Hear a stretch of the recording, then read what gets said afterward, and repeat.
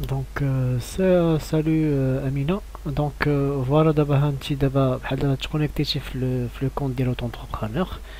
Donc, tu mon compte. Qu'est-ce qu'il est Qui est هذا هذا l'onglet بحال دابا بحال هكا كتمشي directement guichet électronique وكتهبطي لهنايا Demandez des modifications ou consulter vos données.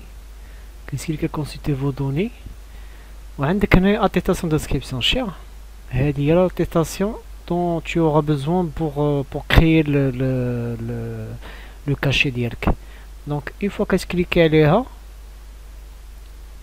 voilà elle est, elle se télécharge ملي كتشحن ليها ça s'ouvre comme ça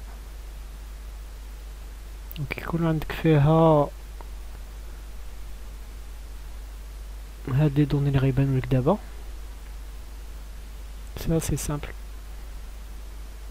دونك هادشي عند هادو كيديرو فوتوغرافور وكتعطيهم سميتو سي تو سي تو ان ان لوغو ولا شي حاجه سا سري بيان ولا سينو تحطي غير لو نون ديالك امينه بالاحمر